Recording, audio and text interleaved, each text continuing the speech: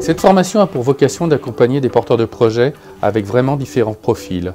Soit des entrepreneurs qui ont déjà une structure existante, souvent à titre individuel, mais qui ont des forts enjeux de développement en bénéficiant de toute leur expérience professionnelle, toute leur relation client qui leur a permis de détecter des opportunités et des valeurs à apporter à leurs clients. D'autres enjeux sont pour des entrepreneurs qui veulent partir ex nihilo d'un concept, d'une idée, d'une opportunité qu'ils ont détectée et qu'ils souhaitent mettre en œuvre. D'autres par contre s'inscrivent plus dans l'accompagnement à l'innovation et au changement dans les entreprises et dans les structures en apportant toute leur force de proposition et de création de valeur à l'intérieur de structures existantes pour le développement d'activités. On peut donner euh, plusieurs exemples de projets euh, euh, que l'on a pu accueillir dans, dans, notre formation.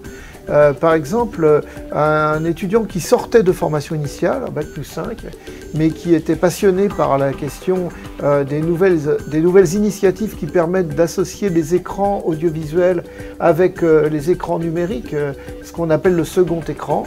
Alors c'est un domaine dans lequel on fait beaucoup de quantitatifs, d'expériences euh, un petit peu sommaires, mais où va être la créativité, où sera vraiment la valeur ajoutée, quels seront les usages plus tard? Euh, Cet étudiant crée une entreprise qui vise à aider euh, les entreprises médiatiques à s'approprier ces nouvelles formes d'expression qui seront peut-être l'avenir des médias.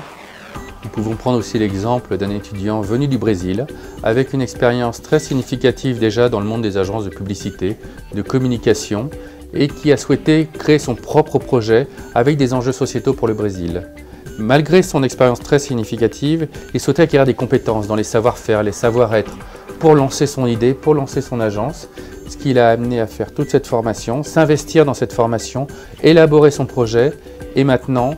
qui est devenu réalité au Brésil à travers une agence de communication.